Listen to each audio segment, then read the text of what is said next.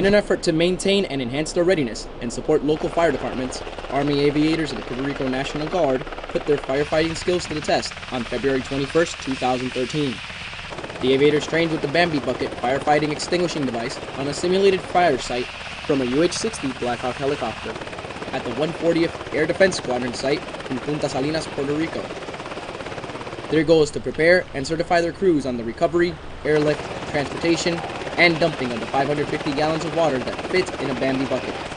When asked about the training, Chief Warrant Officer Alberto Ponce de Leon said, Today we are executing a Bambi bucket training as part of our state mission from the Puerto Rico National Guard. Today our crews are flying a Bambi bucket carrying approximately 550 gallons of water to suppress fires in any area needed. Wildfires are common in Puerto Rico during the summer seasons. Reporting for the Puerto Rico Army National Guard 113th Mobile Public Affairs Detachment, I am Specialist Eliezer Melendez.